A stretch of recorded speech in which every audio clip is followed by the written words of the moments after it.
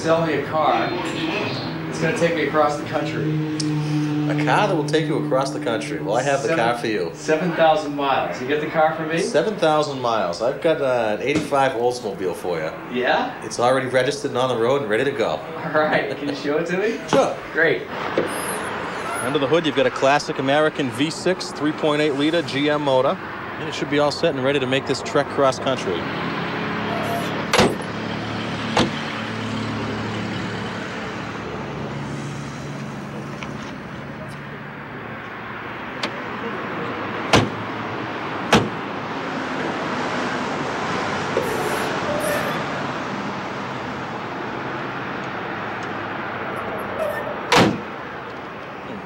Guess it takes a little bit of muscle. So you think it'll get me to California? I sure hope so.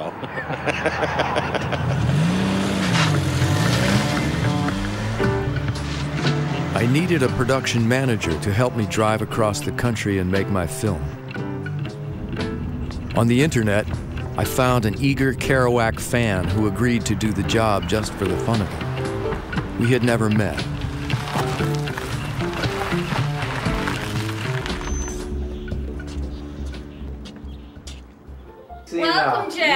Hey, Marie. Come on in. Were you here before?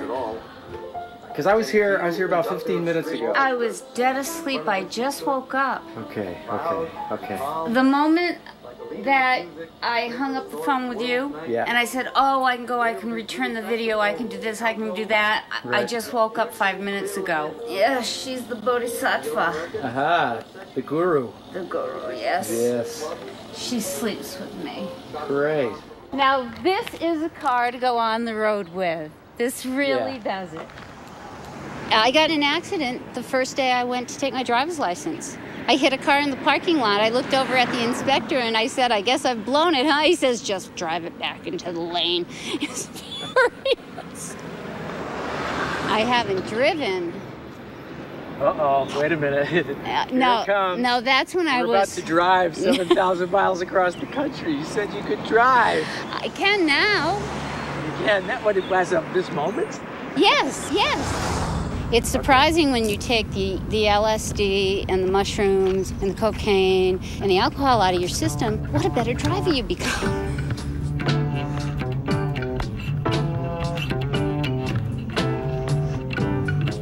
I sure loved reading the beats, and I rode the rails, walked the tracks, drank the wine, smoked the pot, um, dropped the acid, but I was never considered a hippie. I did not consider myself a hippie. I considered myself a bee.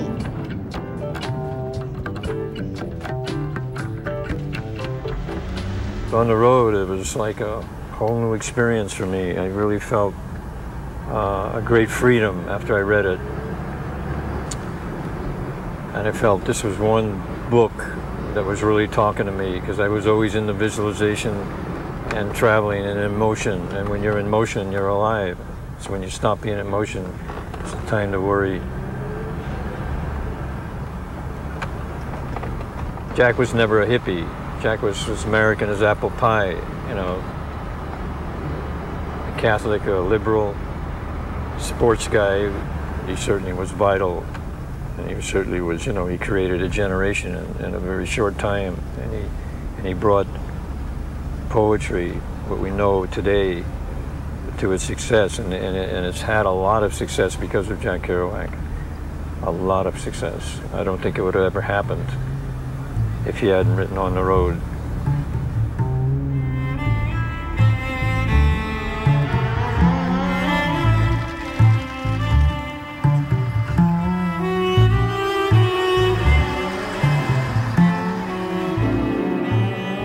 Jack really understood the spirituality of the Beat Generation, you know, the people. They were weaned on a kind of collective mistrust of uh, the authoritative manipulation, the H-bomb,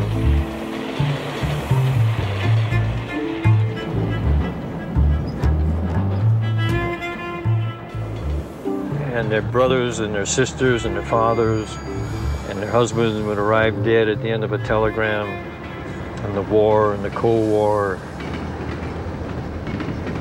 Kerouac came out of that. That's how on the road. That was the origin of on the road.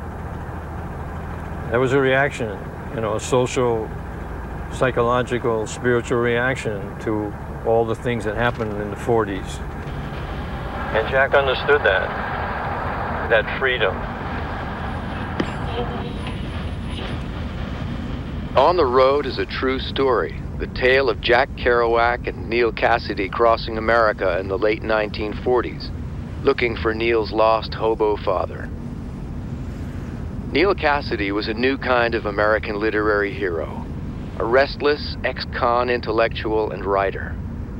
He was a mentor and an inspiration to the Beats, the fastest man alive in talk, in love, and behind the wheel of a car. I think Jack really captured my dad well in On the Road. Just a couple glimpses, you know, were breathtaking of, of how close he had him. A lot of this stuff he wrote based on, like, for example, how my father talked. I mean, the difference between town and the city and on the road is, is him meeting Neal. you know, the prose and the stream of consciousness stuff and everything was, was right out of how Neal would talk. And not only in the car, I mean, just his continual energy. Of course, he set the downhill speed record for um, Lombard Street in the city in reverse. The speed limit's like 25 or 30. And he saw Roy coming the other way, and Roy passed and waved. And so Neal stops and somehow and slams it into reverse and floors it in reverse and catches up with Roy doing about 30 in reverse. And Roy couldn't believe it. He looks over and here's Neal next to him in the window with his arm out, just chatting like this, looking over his shoulder once in a while for oncoming traffic. Jack was a fabulous, fantastic, charismatic personality himself, but he wasn't like like Neal Cassady, the person who played Dean Moriarty in the book when in reality, anybody reading on the road or knowing Jack either way would realize that he was Sal Paradise or Jack Kerouac, the person who was there with all of these wild people. But he was the shy, more introspective, studious, adventuresome person that was along on the ride. When I began to play at the five spot in uh, 1957, Jack used to come down all the time. On the Road hadn't been published, so he wasn't a famous person. But his sitting there and listening, the way he would listen, you could feel it psychically. There was someone who really appreciated the music. And musicians were crazy about Jack.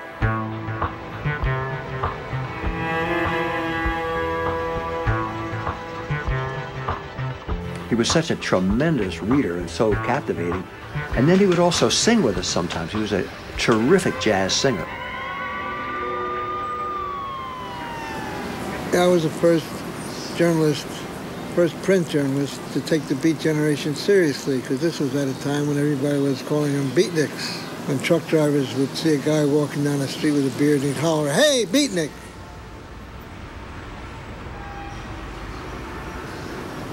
I thought it was a literary movement. And so I took them seriously and I wrote about them seriously.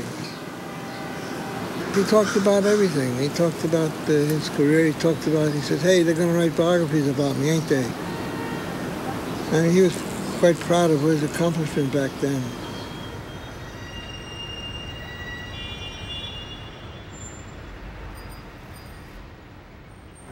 I guess it all began when I was a graduate student at the University of Illinois in Chicago in 1972. And my uh, office mate, who was a hip young kid from Harvard, said, you know, man, you're nowhere because you haven't read Jack Kerouac. So I decided, okay, I'll go out and I'll read Kerouac just to show this guy that I've read him.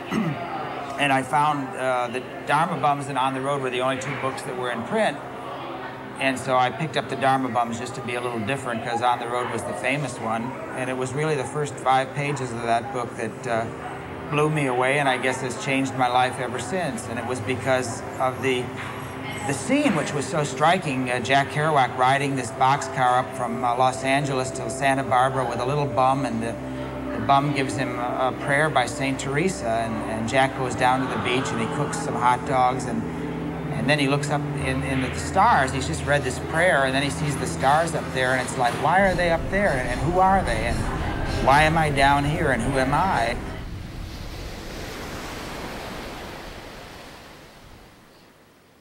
On the Roof of America by Jack Kerouac from On the Road.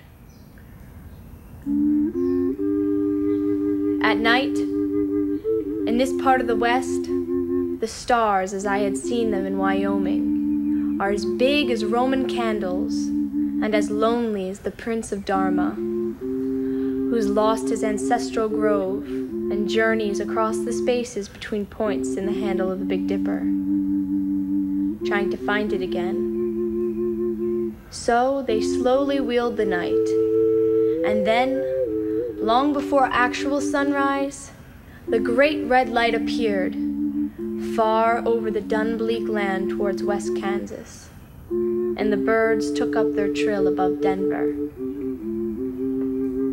I wondered what the spirit of the mountain was thinking, and I looked up and saw jack pines in the moon.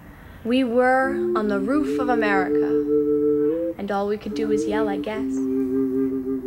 Across the night, eastward over the plains, were somewhere, somewhere an old man with white hair was probably walking towards us with the word, and would arrive any moment to make us silent.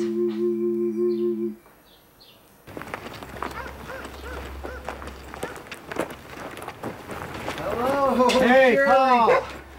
My God.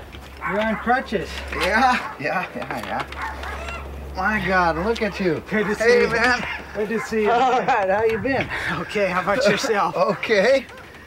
While researching his Kerouac biography, Gerald Nicosia located Paul Blake, Jack's nephew, who was living homeless in Northern California. Well, I've been worried about, you know, Jack's works for years because things kept getting sold off and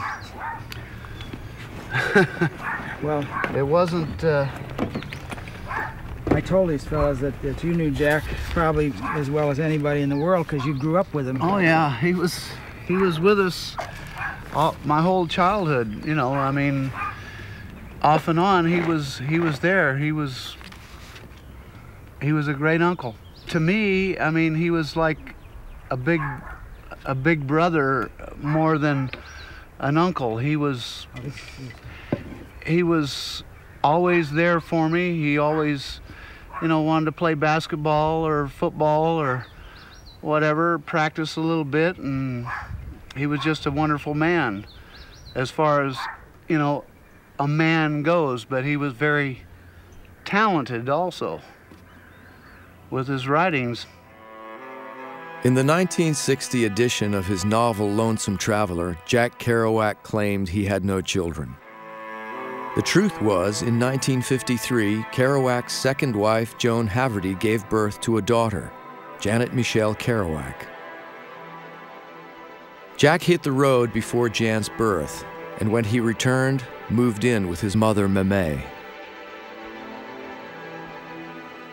It was Meme's decision. She'd made it plain, especially to my mother, um,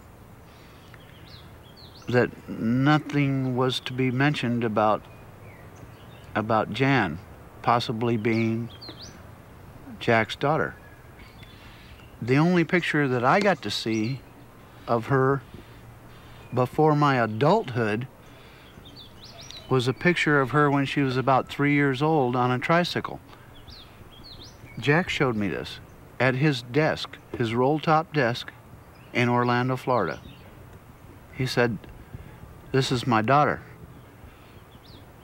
This is your cousin Jan.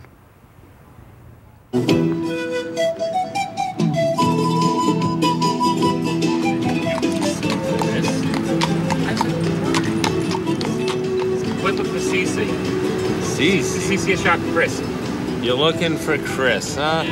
The poet who didn't know it. He's out on the ride right now. Hold your horses, will ya? Give me a minute. Hey, who to the man? I guess you guys are going around doing some work about uh, about uh, Jack Kerouac. Actually, Jan. And Jan. The focus of it is Jan. Yes. Oh, that's beautiful. So, uh, uh, Beluda told me you guys were, were around and that you guys were going to be doing this, and he knew that I wrote portrait poetry. And here goes the horse. Have a seat. We're going to take a short walk. This is my trained horse here. okay, Jan Kerouac in the key of listen. And the shadow lives real as the life of someone great is to be the subject now that moves the sun's eclipsing. This is when she scans the sky and aligns with its will to be heard. While the, while the blinded mortals listen to this real moment, and this is a real glimpse of her through her dying wish.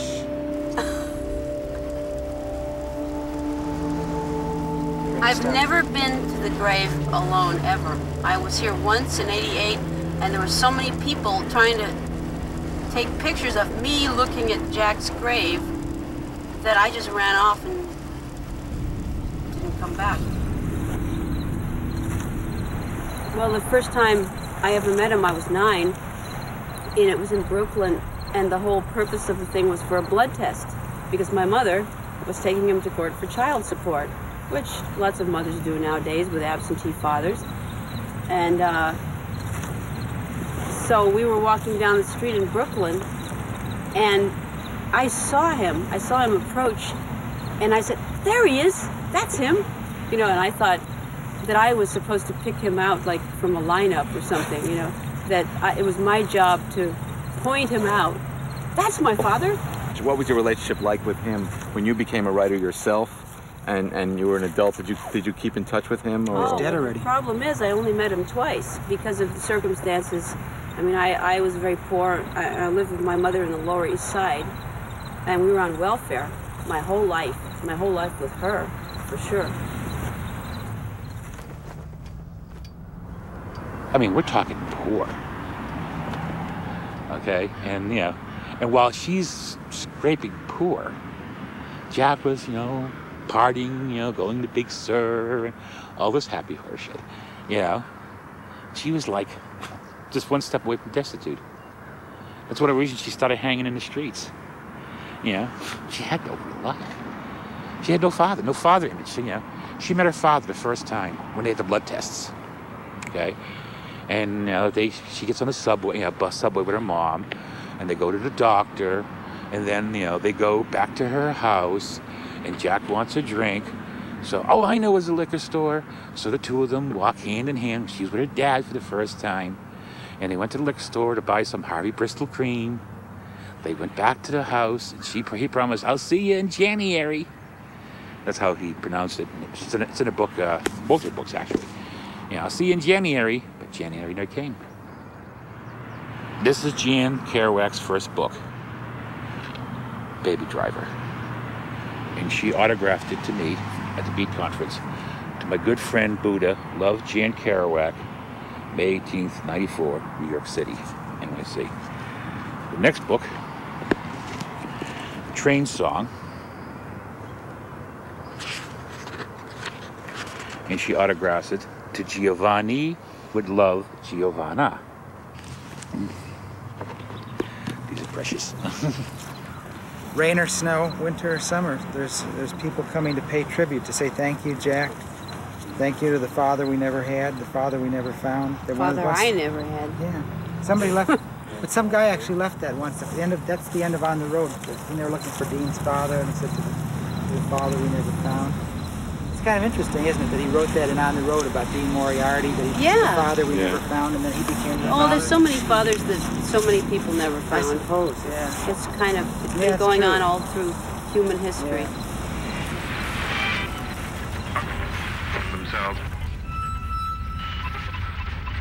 When I first met Jan Kerouac, she was working on the novel Baby Driver, which was her first novel.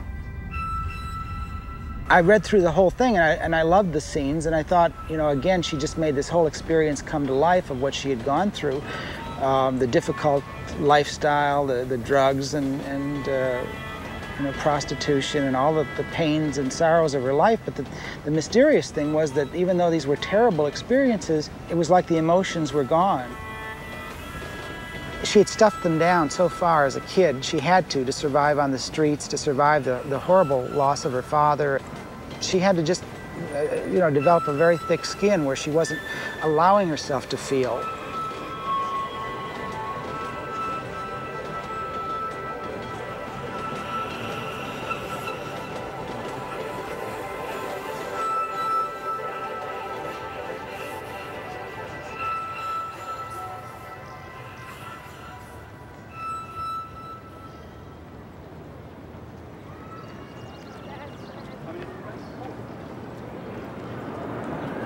Met that girl uh, in um, uh, 1966 or 60, may have been 67.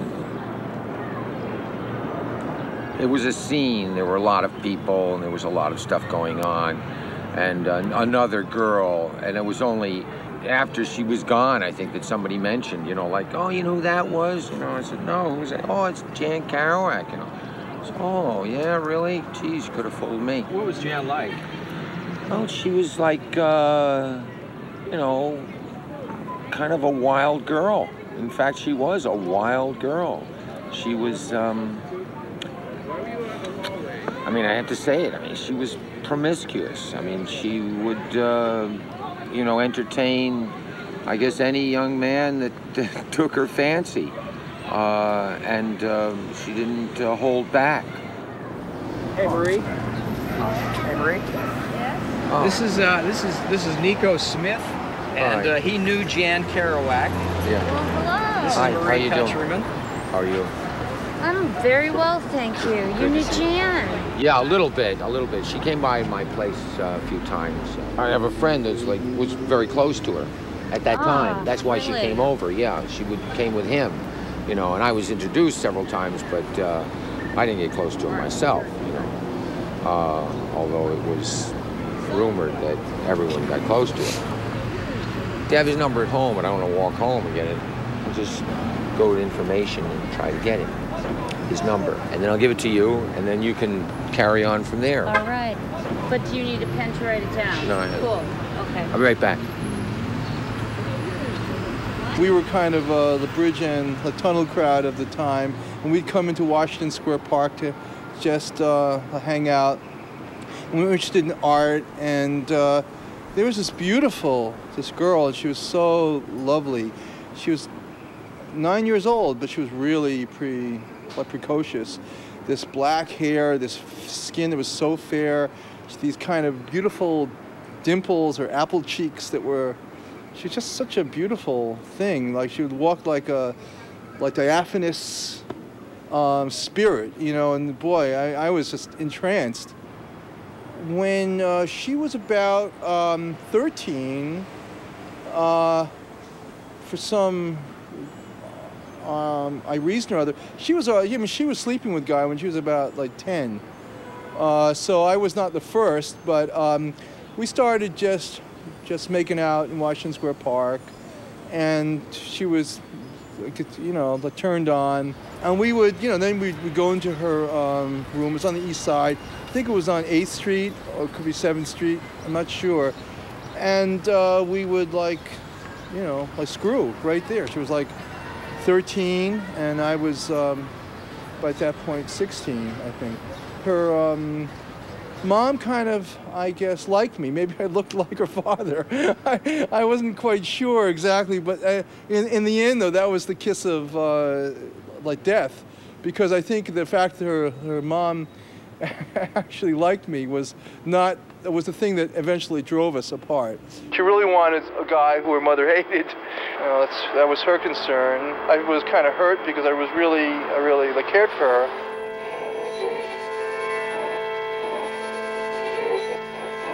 I forget what the deal was, whether it was some kind of anniversary deal or something, but it's pretty early on, 72, at least for me.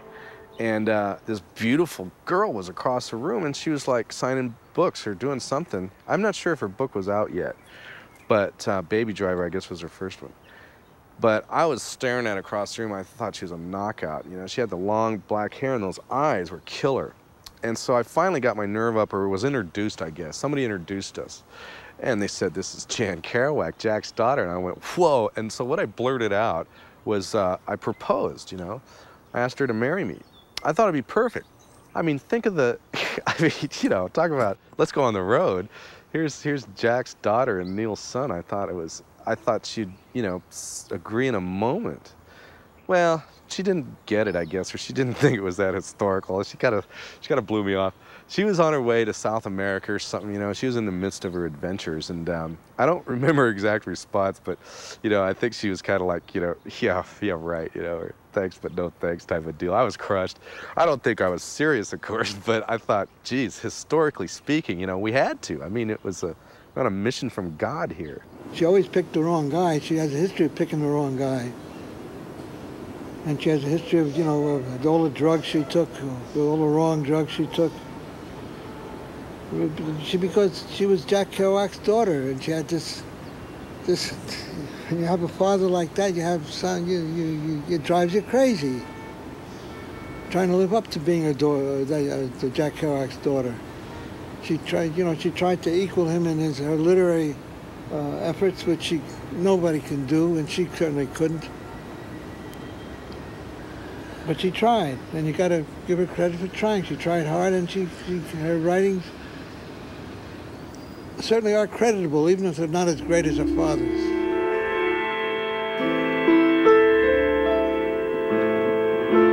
And nobody, nobody knows what's going to happen to anybody besides the forlorn rags of growing old. I think of Dean Moriarty. I even think of old Dean Moriarty, the father we never found. I think of Dean Moriarty. Dean Moriarty.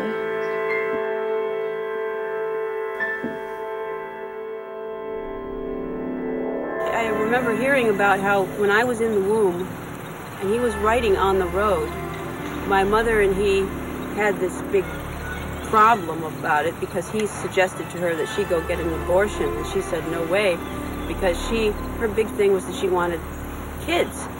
And and me in particular at that point and he said oh no no no. I can't can't have the responsibility of uh, a kid right now because i got to finish this book. This book this book. You know really uh, obsessed with the book uh, which is understandable. In fact i myself have been in the same situation before writing my books the two books that i wrote and being pregnant myself and saying to myself oh no i can't be pregnant now. I gotta write this book you know so and at that moment when i first felt that i thought well that was how he felt. I, I understand that. And i understand that he was all over the place traveling and and there are many reasons why he didn't acknowledge me. But at the very end he did acknowledge me. And he said yeah yeah you go to mexico write a book you can use my name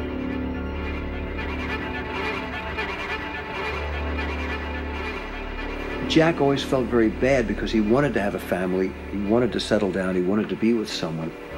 And when he got suddenly famous in the fall of 1957, his whole world kind of blew apart, coming from someone who had written 11 books and only had one published that was pretty much ignored.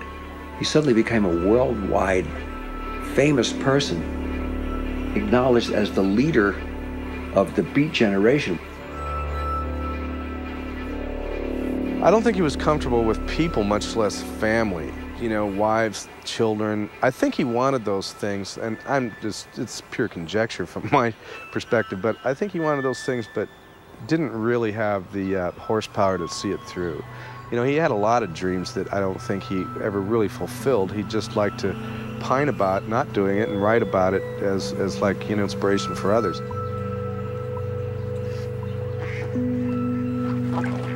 In 1966, Kerouac married his third wife, Stella Sampas. Stella ultimately inherited Jack's entire literary and personal estate and passed it on to her brother, John Sampas, when she died in 1993. Sampas family, of course, knew Jack when he was a kid. They all still love him and care about him. And it was, of course, Sebastian Sampas who inspired Jack to be a writer. He died during World War II when he was out at sea. But he was a young poet that gave Jack the thought that maybe he could be a writer. And to see John Sampas, who was suddenly inherited this whole extraordinary wealth of material of Jack. And for the first time, Jack had someone to look after his legacy. The archive is private property. We've taken care of it for 20 or 30 years, and it wasn't touched. Nothing was done. Everything was moribund. And so when I came into control of it, I said, you know, the law of unpublished Kerouac material here, we've got to get it published. And Stella had said, after I die, I want you all to take care of this. Get it out there. This is not about John Sampas or the Sampas family. This is about Jack Kerouac. This is, we. I'm a catalyst. I'm a, you know, for Jack because Jack is dead. I didn't do any of the writing. I didn't do any of the work. I didn't do any of the creative, uh, the creativeness of this genius. Jack did all, and I just, I'm a survivor, and I'm putting the things out there. That's all.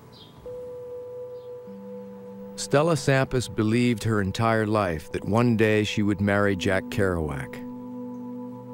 She was middle aged when they married, and by this time, Jack was a far gone alcoholic, living with his bedridden mother in a small house in St. Petersburg, Florida. It wasn't pleasant for Stella. Stella was a martyr. She suffered an awful lot. He insulted her, he abused her, verbally abused her.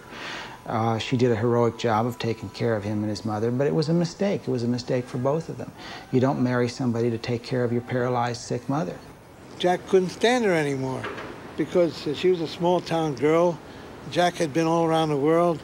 Jack had this great mind, and she had this little mind. And she was trying to, she was a caretaker wife. I, you know, I've had many, much experience, many experiences with caretaker wives, in which uh,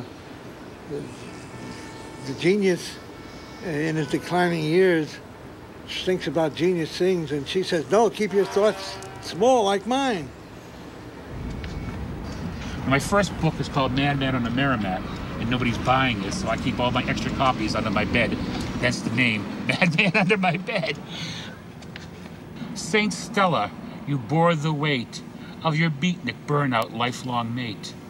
Then, in a human cause like no other, you took the task of caring for his mother. John, her brother, now holds the flame and fends off the attacks to her name. Can a brother's love keep her name defended well past the time a life has ended? Saint Stella, grant me this wish and see that someone publishes this.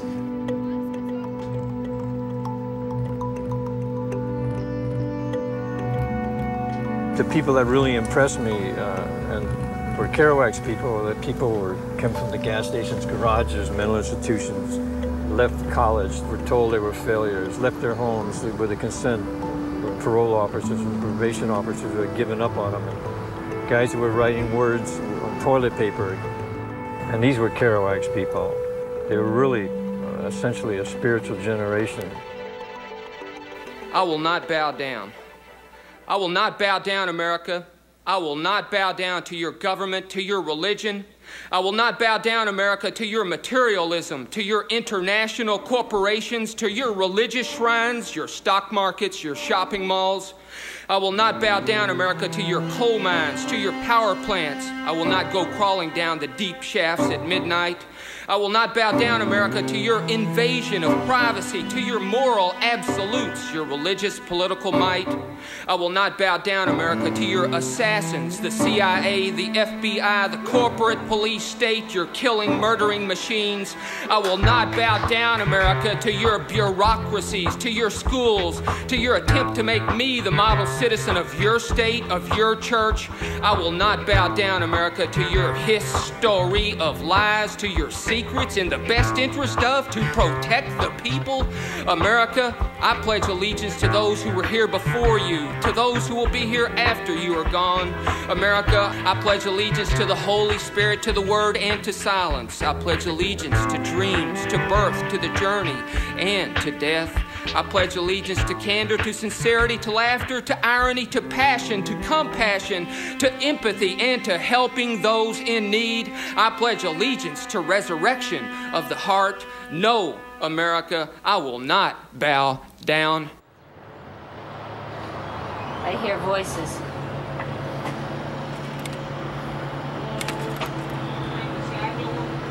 You got it.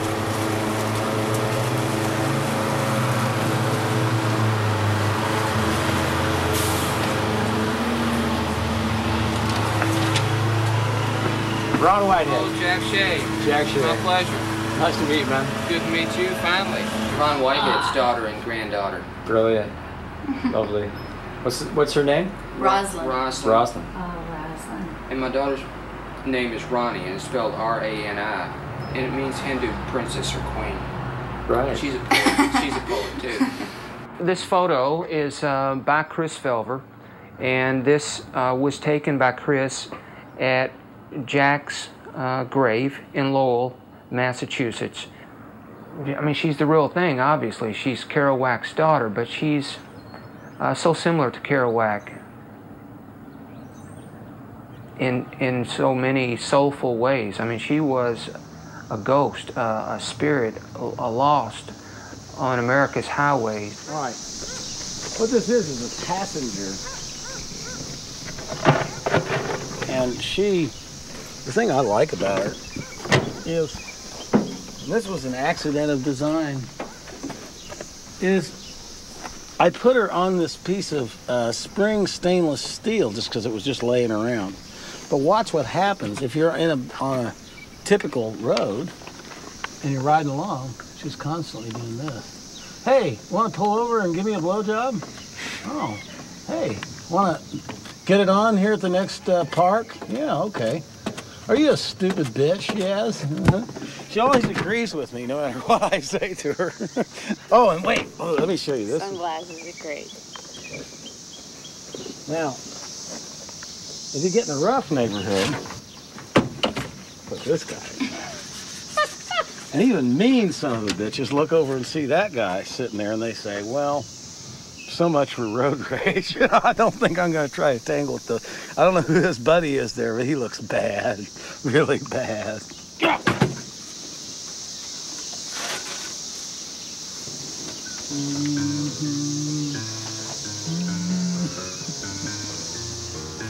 The more I think about it, the whole thing of On the Road and all the rest of it is just a, a big con. And that Jack was a, a skirt grabbing mama's boy weirdo drunkard of the weirdest sort is not even slightly surprising. And I don't think it, it destroys his his art because maybe he's the ultimate art, artist. If he was really like that, it would have been easy to write all that stuff down. But when in your heart you're really a wuss of some sort, a version of a wuss, a strange one albeit, but nonetheless, ultimately a wuss sitting at home saying, Mom, we're out of toothpaste. Shut up! Uh, you know, how ironic. As a young guy, I had this idea of a Kerouac in a flannel shirt and a, uh, the Moriarty type scene. Let's let's go nuts. Let's do everything. But yet, maybe a really funny scene w- would have been him calling home. Like, But but mom, I know mom. I yeah yeah. All right, I'll say it just once. I love you. I love you. I love you, mommy. I used to see Jack in the Bowery and the bars, and at this time he seemed to be drowning, whether it was from his career as, you know, was changing, he, and he wasn't writing, and he was doing very few readings. I caught him in a couple, the last ones he did, but it just, something was, you know, he was missing something. He wasn't showing up. He was out of the scene. And if he was seen, he was seen at the some of the bars in the Bowery by himself, just drinking in slow, measured sips. Probably wondering if he was ever going to come out of it. I don't know.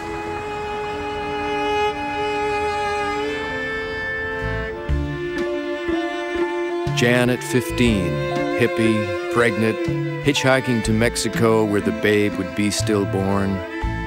She visited her father, Jack, found him holed up in a road that led from bedroom to bar, bar to jail, jail to rooms of bedridden Meme mother and raging Stella wife. Jan came to see the father of her road, found him fat, slack, and slunk, inches in front of black and white TV, munching tuna from tin cans, sipping Jim Beam bottle, dull and dreary road of near death.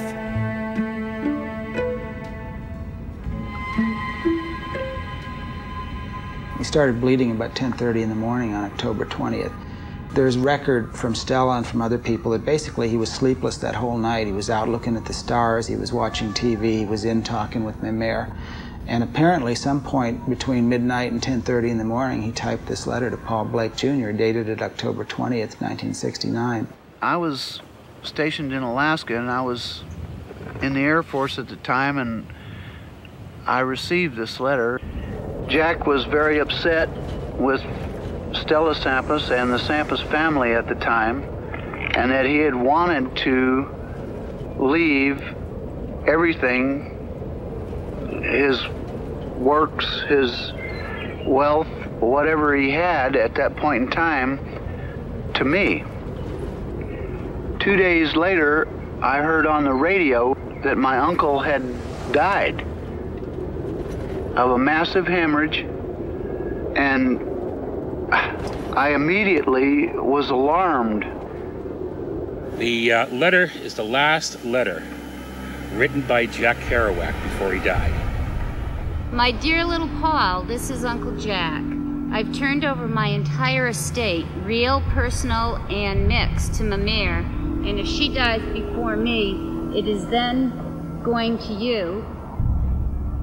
And if I die thereafter, it all goes to you. I just wanted to leave my estate, which is what it really is, to someone directly connected with the last remaining drop of my direct bloodline and not to leave a ding blasted fucking goddamn thing to my wife's 100 Greek relatives. I also plan to divorce or have her marriage to me annulled. They probably had a fight.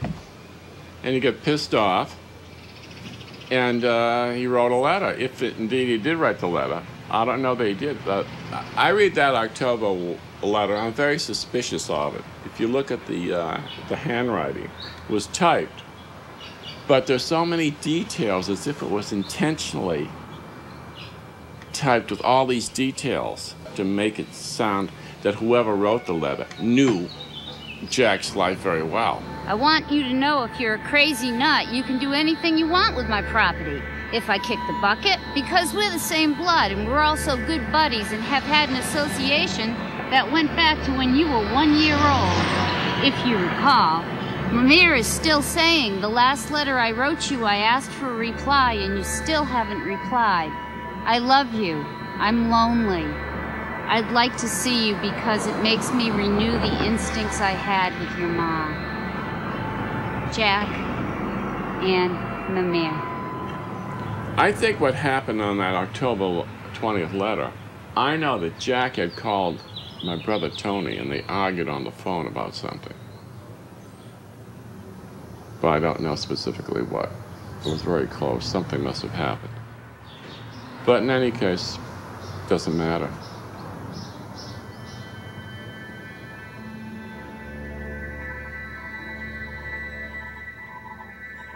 In his will, Jack left his entire estate to his mother, Gabrielle. Almost completely paralyzed by stroke, Gabrielle could barely walk or move her hands. For the next three years, Stella continued to feed her, clothe her, and manage her affairs. When Gabrielle died in 1972, she left everything she owned, including Jack Kerouac's entire literary estate, to Stella Sampas. Paul Blake was not informed of his grandmother's death, and he claims that for months he continued to send her small checks, all of which were cashed and signed. For one entire year, I would try and call Mame, and every time Stella would say she was either too ill or she couldn't make it to the phone. And I'd say, Well, can't you take the phone to her? Why don't you have a phone in her room? She used to tell me, Well, I'm sorry, we're not able to do that. And I know now that there were times that I called to talk to Mame that she had been passed away for some time. Well, you, you asked uh, Stella about uh, was there, when you did finally find out uh, about your grandmother's death, if there was a will. Is that right?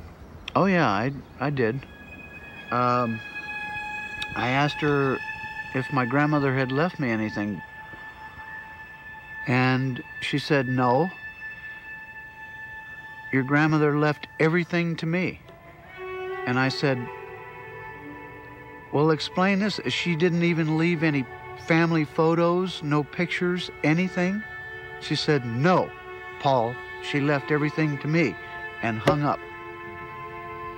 And I decided, well, instead of going to the beach, we'll just go visit Stella. So we took off in my old car and went to St. Pete, and I pulled up in the driveway of my uncle's first house, knocked on the door. Stella came to the door, opened it up, and she says, Oh my God, it's you, Paul. And she raises her cane that she's using to walk with and flipping it at me and my son. You have to leave. You have to leave. You have no right to be here. You have no right to be here. I said, I just came here to talk to you, Stella, about Meme. I said, but I sure don't understand your behavior. She says, Go on, just get the hell out of here. Don't you ever come back. So that's exactly what my son and I did.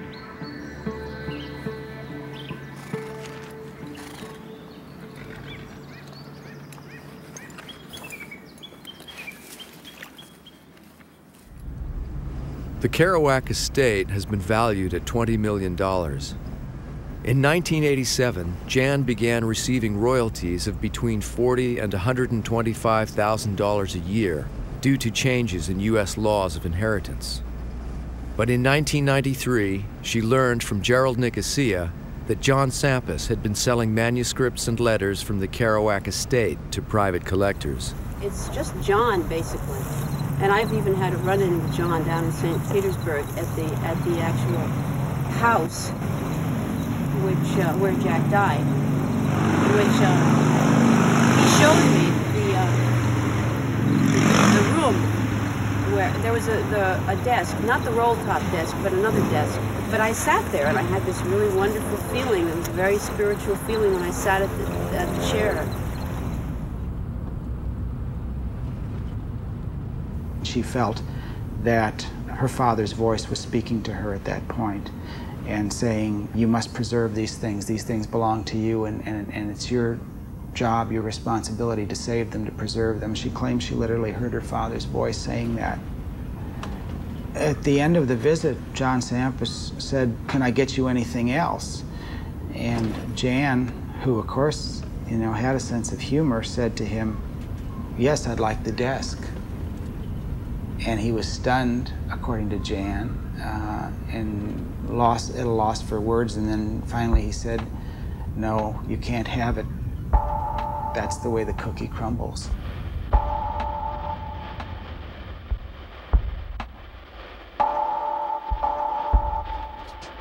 Twenty years after Gabrielle Kerouac's death, Gerald Nicosia obtained a copy of her will and showed it to Jan at his home in the presence of California lawyer Thomas Brill.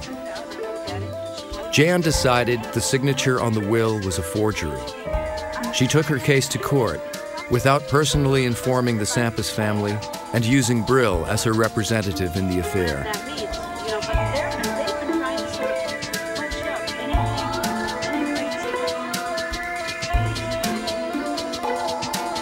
Number one, he figures in a few years maybe he'll be dead and he won't have to worry about you. Sure. You know? Well, it's so blaringly obvious that he just wants to have the money as long as he can.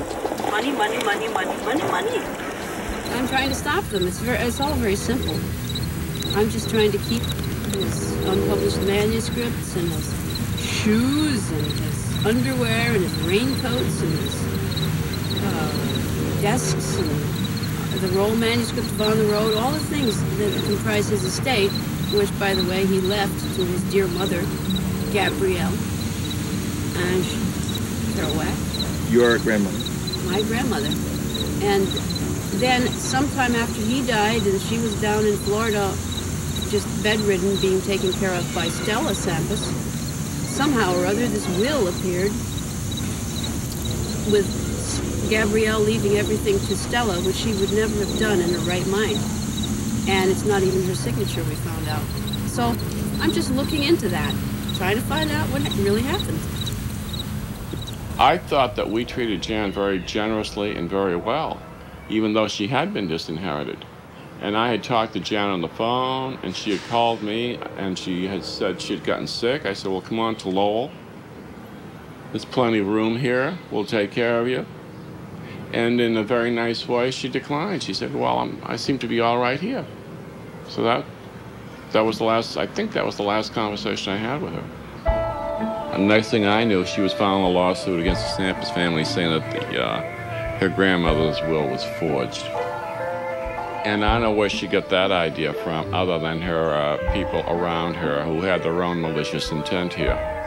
There's really two sides. There's John Sampas saying he wants to sell it over 20 or 40 years. Why? So that he can make a lot more money than if he sold it right now. There's the other side supporting Jan Kerouac so that the family is, you know, treated well. But you see, nobody the stuff is cares about available the now. Kerouac family. They only care about the Sampas family. Christ! We're crazy in this town. You know what I was thinking? The car, right? We're filming a thing, we're driving out there. Some fucking guy nails us. You know, like kamikaze Sampas. Yeah. Right? No, I mean. Except he wouldn't be kamikaze because he wants to enjoy all of his riches. See, I'll do the kamikaze one of these days. Plane. I want you to understand that, you know, I'm very angry about the whole lawsuit. I'm extremely angry. Very angry. And uh, it's going to take a long time for me to get over it because these people have uh, libeled and slandered the Sampas family.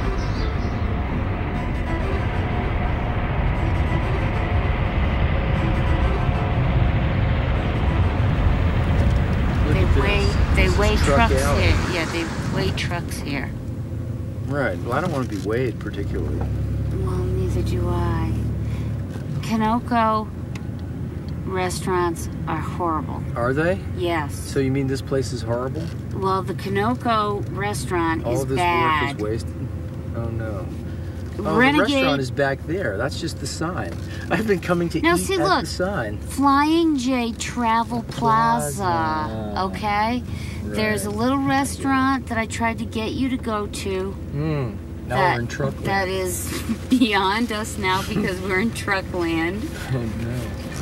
And and Oh, there my was the Renegade restaurant across the street. Holy shit! Look at this. Look at that purple. Yeah, we're How we're do we ever get out of here? well, we're not in Kansas anymore, Toto. That's for sure.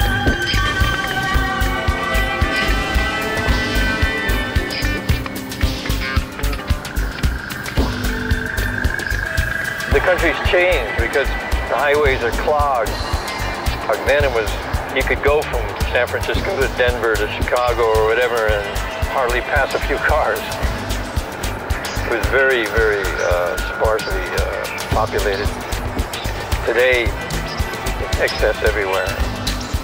Whether it's on the highway, whether it's listening, going to a record store, or buying a camera or a car.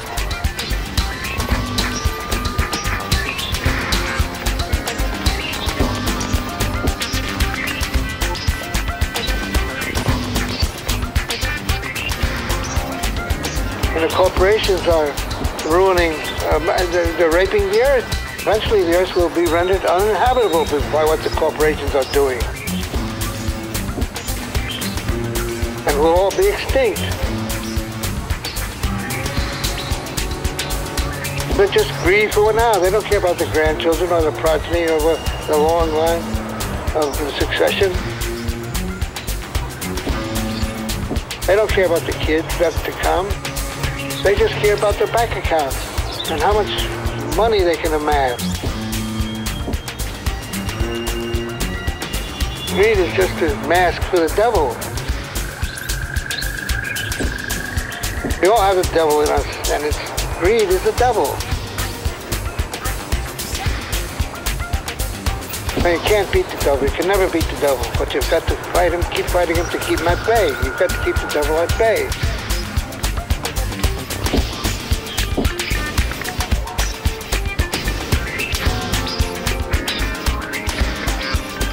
Damn you rich lawyer sons of lawyer sons of bitches that rule our lives like Roman patricians. Damn you to hell with your sex gates, cocaine gates, zipper gates, Iran Contra gates, pumping out foreign policies between totes and strokes of pleasure. You're not America, just GM and Ford and IBM and Trilateral Commission lackeys dancing to the tune of magicians of darkness, hell bent on importing the flames of Hades to Earth's surface. In the names of the Vietnam dead, I curse you in these post-Frank Reynolds days. I curse you, Pentagon generals, at the controls of the video arcade of the world, thinking you can win, like kids win games of Pac-Man. You frigid, unemotional computer prick assholes. I survived your Vietnam charade. I survived. This black man survived to scream these curses at you. Washington is a town of morticians. Otherwise, why the big black limousines? All these years you've been showing us the end, riding in your funeral processions to and from white houses and cold marble tombs. You're not America, just big business and robber barons and La Costa Nostra evil polluting our amber waves of grain. I curse you with the juju of Africa, the juju of my ancestors who cursed your southern soil while plowing fields and chopping cotton under the bloody sun of American slavery. I curse you for the hardships of poor people everywhere while you spend trillion dollar budgets on weapons of destruction.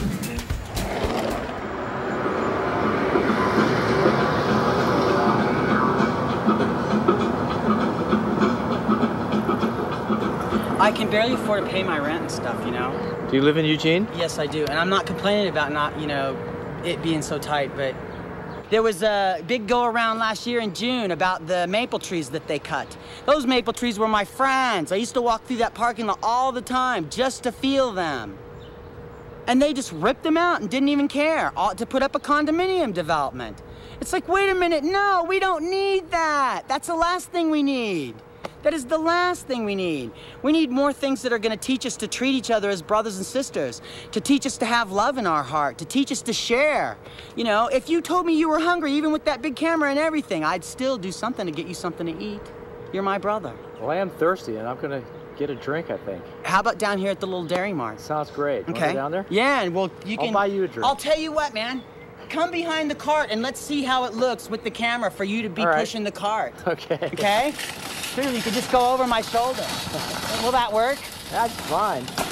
Because you know, I was telling my friend Chris, it would really do people that have lots of money and have worked at businesses and stuff and sit behind desks and stuff. It would really do them good to get a grocery cart like this and just put whatever in it and just get out here and push it.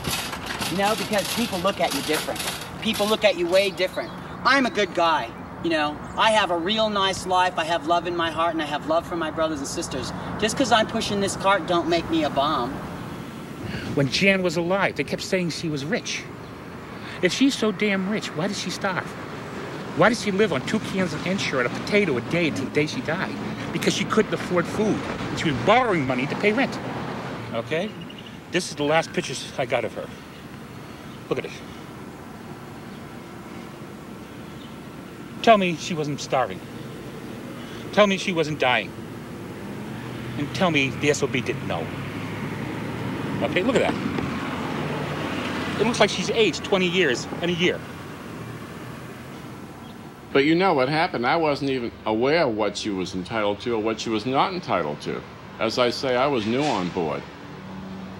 So once the copyright lawyers got involved, they told me she shouldn't be getting foreign royalties. And at that point, why should I be financing her lawsuit against me? So I cut them off. So she's not supposed to be getting foreign royalties.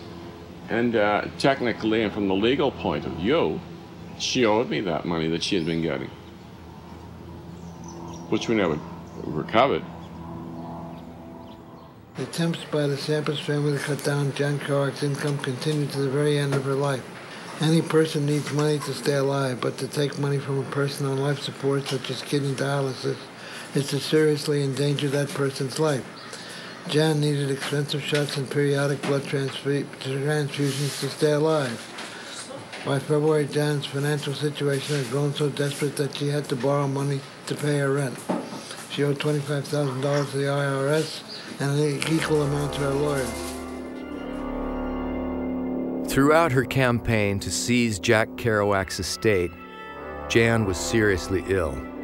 Her kidneys were failing, and she had inherited a rare blood disease from her father. She was able to maintain her, her body by doing dialysis and um, maintain her house, but I don't think that she was able to do much beyond that. And it exhausted her to be a part of this lawsuit. Um, I don't believe that Jerry took that into account or ever led up.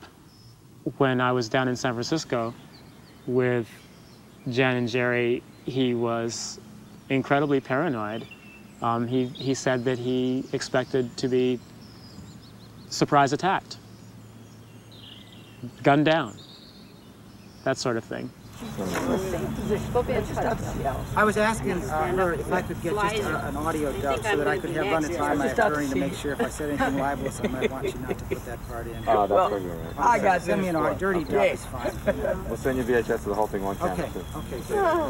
And, uh, yeah. I mean, you said nothing but libelous things, so it's okay. well, because everyone I mean, else is know, saying libelous yeah. things about us. Yeah. Well, I mean, there's certain things if you recount something. So I guess it's open happened, season, right? So I've got an attorney. I'd rather you know okay. just run it by him if you don't mind. I mean, for John Sampas to say that I have no right to my father's things, how, how much more libelous can you get? That's such a surprise. You've got an unbelievable I'm memory. I'm the daughter. Lenny, yeah. I, no. The beautiful daughter. I know. That's great. Well, with, with the beautiful shoes. Second hand. She felt badgered by him. You know, I think she felt annoyed and exhausted by him. And I can totally see that, how that would be. That he, he tends to do his work, I think, with blinders on and then he sees his goal, whatever it is, but filters out whatever else he doesn't want to take in. Jan's campaign generated violent controversy in the Beat community, and she was ostracized by many of her former friends. Her greatest loss was the support of her godfather, Beat poet Allen Ginsberg, who predicted that if she filed suit against John Sampas, it would end in tragedy. Ginsberg died in 1997. When a person dies, it takes a while for their, their spirit to leave their body and all that kind of stuff. And then once that's happened, uh, you essentially are sending them on to wherever they're going with, by having a celebration.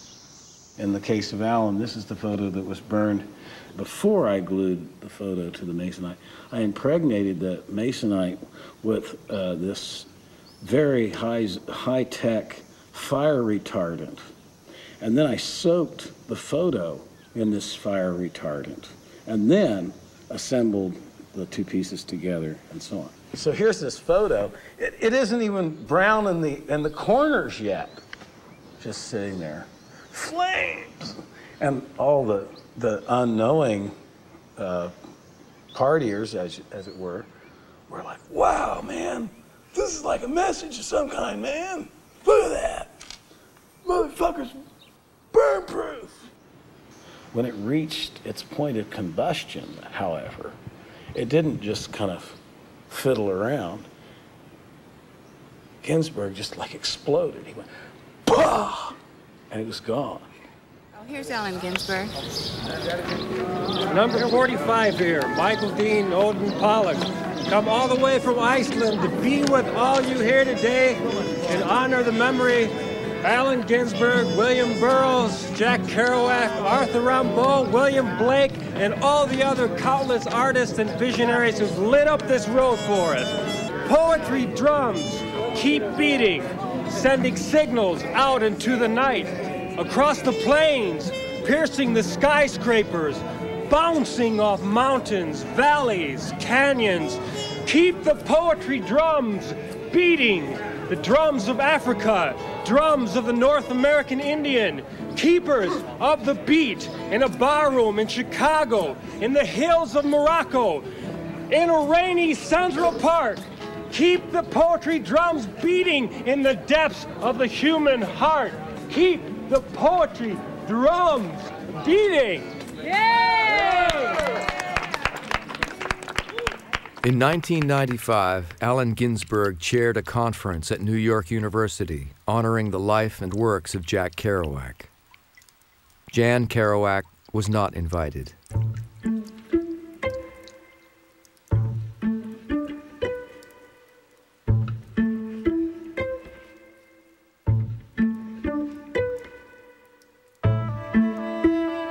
Last time I seen her in New York, I seen her up at the, uh, it was like a theater, and they were doing a whole Kerouac thing up there, and they wouldn't let her in.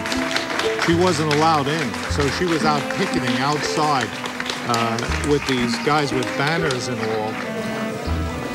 I went up to town hall with Pat Fenton, who had done some articles on Kerouac, and he introduced me to Jan. And before I was introduced to her, he pointed her out to me, and I was maybe 10 feet from her, she was in a circle of people.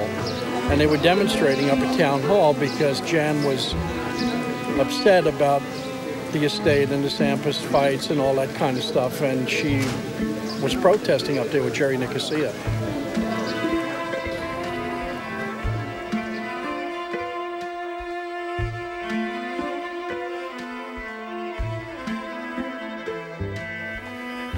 Very start of the conference, she wanted to ask um, uh, Allen Ginsberg for the right to speak uh, for five minutes to talk about the fact that two libraries, New York Public and Bancroft, were willing to pay a million dollars for her father's archive.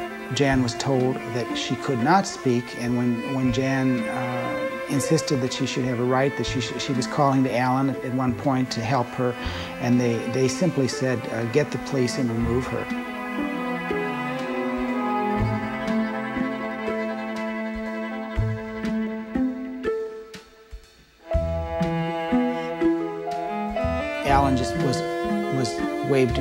Take them out. They're irrelevant. He kept saying they're irrelevant. And I, I stood up and I, I just was very angry at that point and I started yelling, you can't take Jack Kerouac's daughter out of a Jack Kerouac conference. This is wrong, Allen. They're not irrelevant. And then, of course, they pointed the finger at me, too, and they said, get rid of him, too. You are queen, Mama, chastising unspoken poor daughters with unutterances bursting from the seams.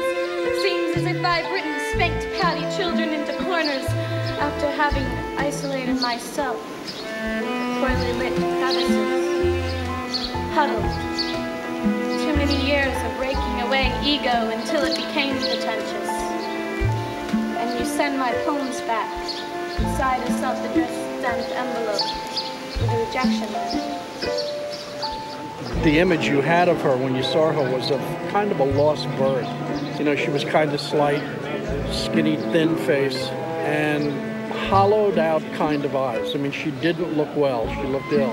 It was a tragic image I had of her. It's the only way I can describe it.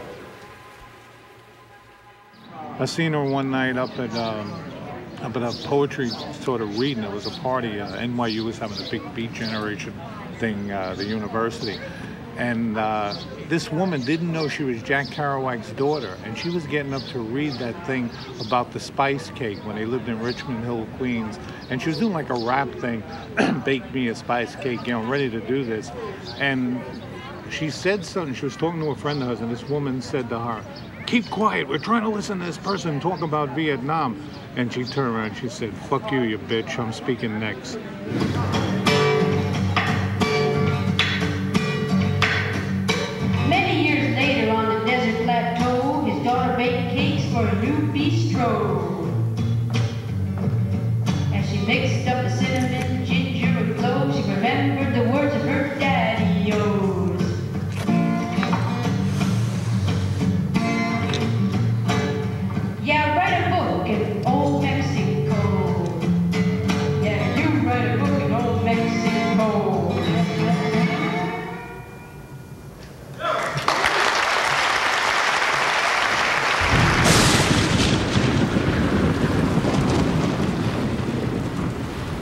Jan Kerouac died exactly one year after her so-called godfather, Allen Ginsberg, had her thrown out of the conference at NYU, held in the honor of her father.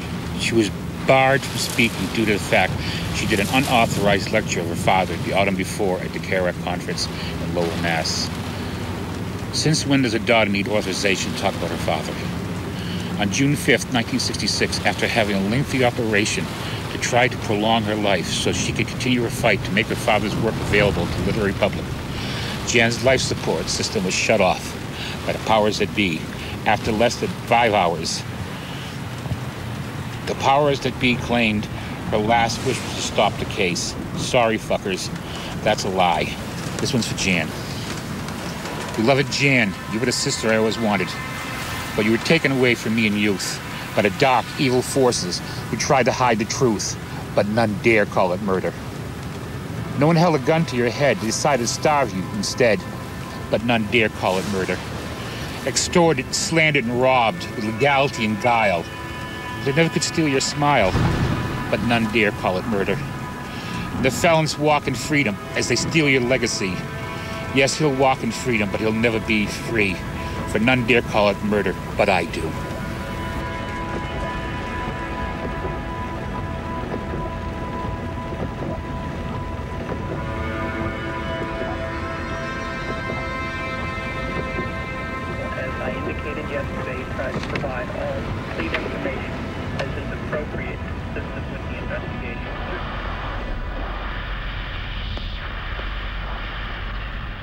Next day, after she died, I talked to Debbie. And I said, Debbie, why did you pull the plug? Oh, oh, oh, well, well, we couldn't afford, you know, she, all these bullshit excuses. And then she goes, her last thing she wanted to do before she went into the operation was to call you. She had your phone number, but some nurse spilled water all over it and she couldn't read the phone number. Jerry talked to the nurses. Nobody spilled any water on any damn phone numbers. They did not want me to talk to her.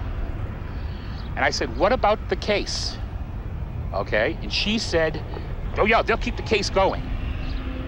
A few months later, she testifies that Jan's last wish was to stop the case. That's a lie. That is a damned lie. Poor Jan, uh, she was put under a great deal of strain when she was sick. I'm sure if she hadn't been put up to this, she'd probably still be alive. Not that she'd be in good health, but she she would have enjoyed her life a lot more if she had not gotten involved in this in this fraudulent lawsuit.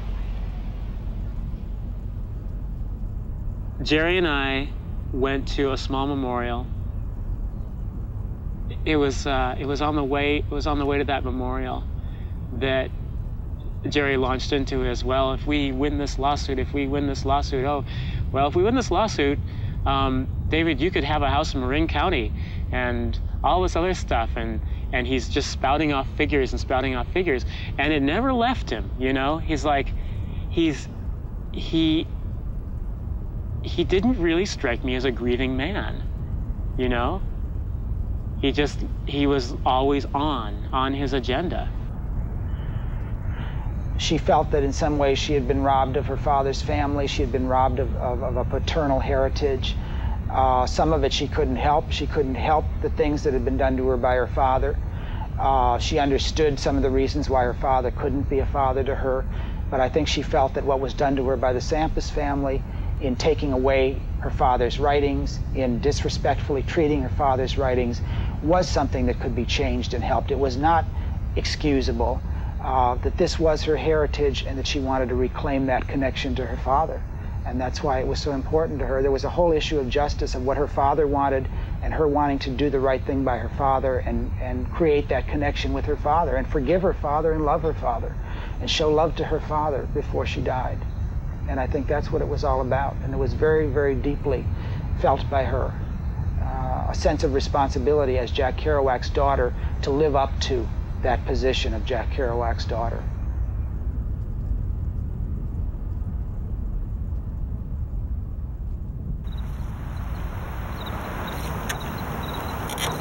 Did you know your father really well? No.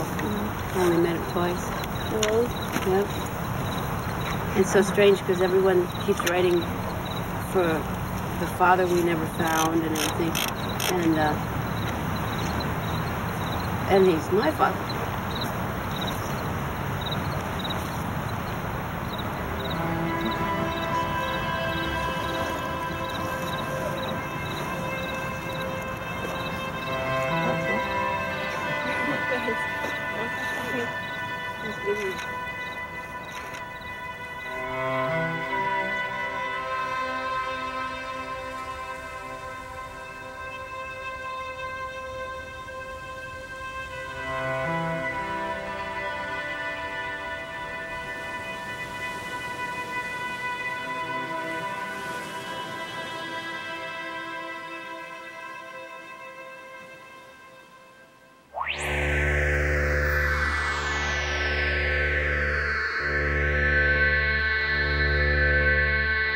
Jan showed Jack her hands.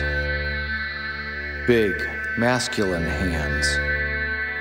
Surprising. Jutting and clumsy from her slight, graceful body. Jan took Jack's hands in her own and said, You see? My mother said we have the same hands. And just then a road sparked in Jack's dumbstruck, oxen alcohol moroned mind. Oh, yeah. Gee, go to Mexico. Write a book. You can use my name. Those who live by the road shall die by the road. Typewriter fingers flailing pistons over the keys. 100 words a minute. 180 miles an hour. 100,000 light years of teletype paper. In three weeks, the Kerouac Road book was done. The road became word and dwelt among us.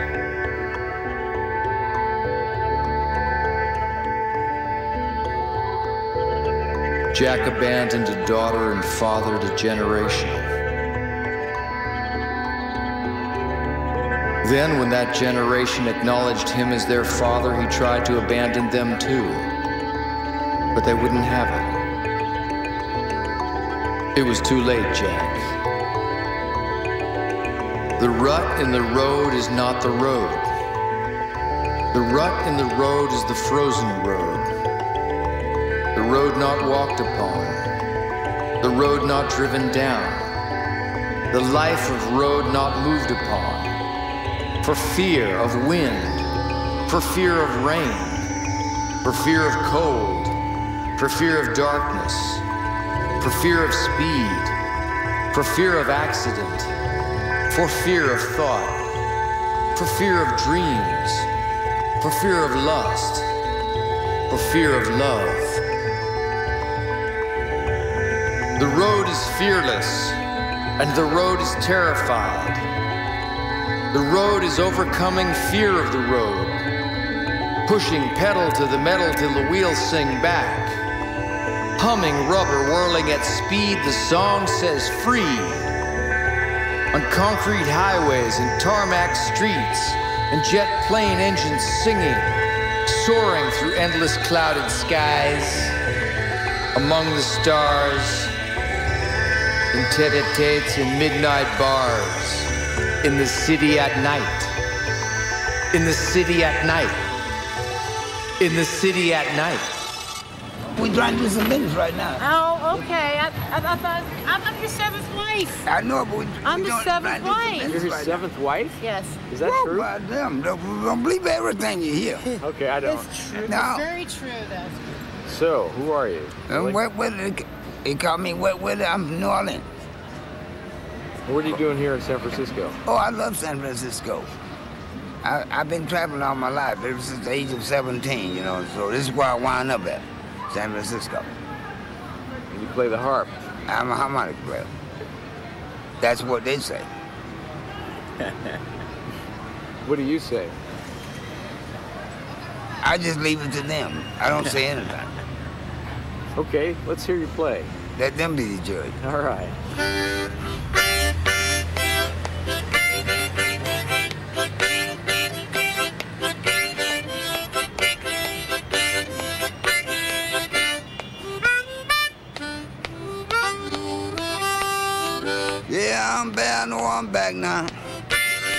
Yes, I'm bad. I know I'm back now. Yes, I'm back now. Yes, I'm back now.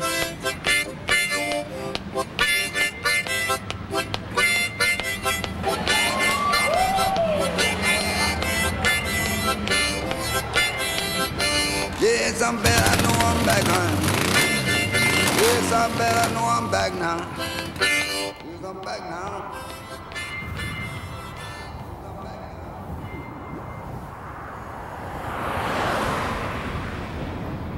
Kerouac wrote his last great novel in a small cabin at Big Sur on the Pacific coast. This was the end of my road. So we're down here, we're uh, doing a little home invasion action. Jerouac, the Jerouac. It's half Jack. That's Jack, Jack Kerouac in one word, Jerouac. Why waste time? Exactly. Excuse me, sir. Are you Jack Kerouac? I am. What can I do for you? What are you doing here today, Jack? Well, I just thought I'd come down here and see if I could write a poem about what the ocean sounds like. We're great fans of yours. Well, thanks a lot. It means a lot to me. We've read all your books. Thank you very much. Um, we're, we're, we're down here just to check out your cabin. Well, well, I don't know if I want to let you up to my cabin. Really? I have to get permission. From who? From John Sampas and Jerry Nicosia. Oh no, are you kidding? They That's own true. they own they, the they cabin. own the cabin now. Oh no. So I have problems with this too. So I don't know if I can take company or not. I don't know if I'm welcome up there myself. Well, maybe you could lead us the way. At least we can have a look, see if anybody's there. Well, first I got to figure out how to ford this creek. We got to get on the other side. We got to get on the other side. I don't know if that's right. There's no sign of a trail. So it's just really beating it through heavy cut brush. Jack retreated to the cabin to reflect on what his life had become. He made daily walks along the Riverside Trail to the sea and began work on his novel, Big Sur. And there's a great moon.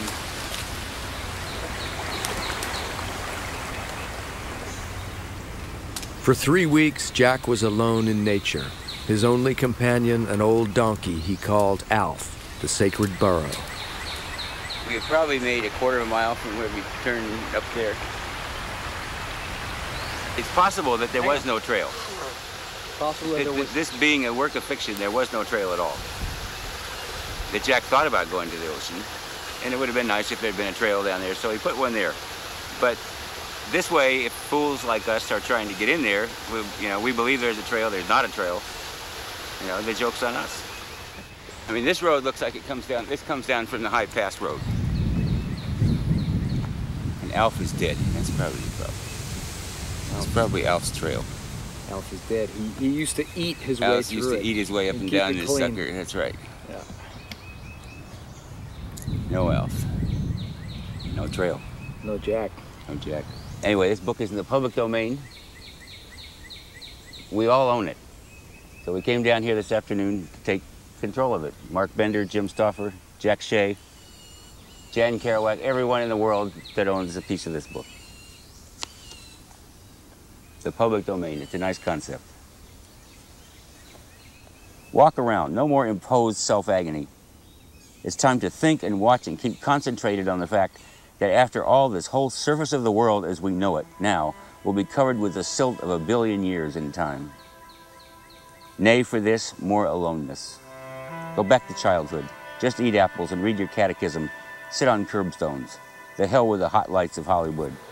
It's almost tearful to realize and remember the old green t-shirt I'd find, mind you, eight years ago, mind you, in the dump in Watsonville, California, mind you, and got fantastic use and comfort from it. It's the little things that count. On my deathbed, I could be remembering that creep day and forgetting the day MGM bought my book. I could be remembering the old lost green t-shirt and forgetting the sapphire robes. Maybe the best way to get into heaven. Listen to the goddamn words. That's right. And everybody's forgetting the words and paying attention to all this other shit. Who owns the words? This book doesn't belong to anybody. It belongs to everybody. And ultimately, all Jack will belong to everybody. It ultimately all matters nothing.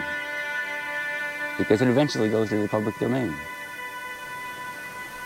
And we'll all be dead. John Sampas, Jerry Nicosia, me, you, and the book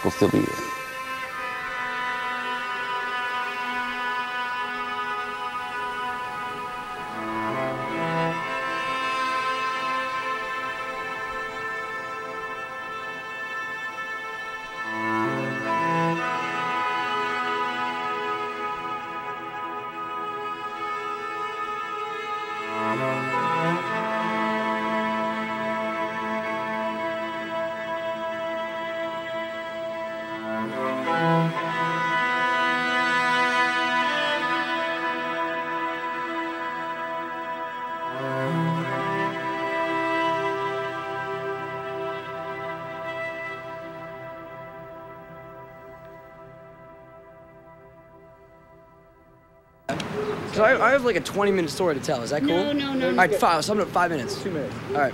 Let me let my cigarette first. All right, listen up. I have an announcement to the country. If, if you guys ever see this, I'm writing a book, a novel, a novel about life. I've been through it all. I got kicked out of college, been through depression, manic depression. Um, I left my house Tuesday night. Today's Thursday, Tuesday night at 1 o'clock a.m. and drove to the Canadian border. I got kicked out of my house. I am going to tour the entire country, United States, within two years, visiting every single state, chilling out for one month, collecting information on how people hang out. Look for my name, and I will let you know when I come to your state because I want to see the people hang out and take a lot of pictures. If you ever see a kid in a white Nissan Sentra in 1992 taking pictures, cooperate because you might be in my book. Seriously, no joke. I'm writing a novel.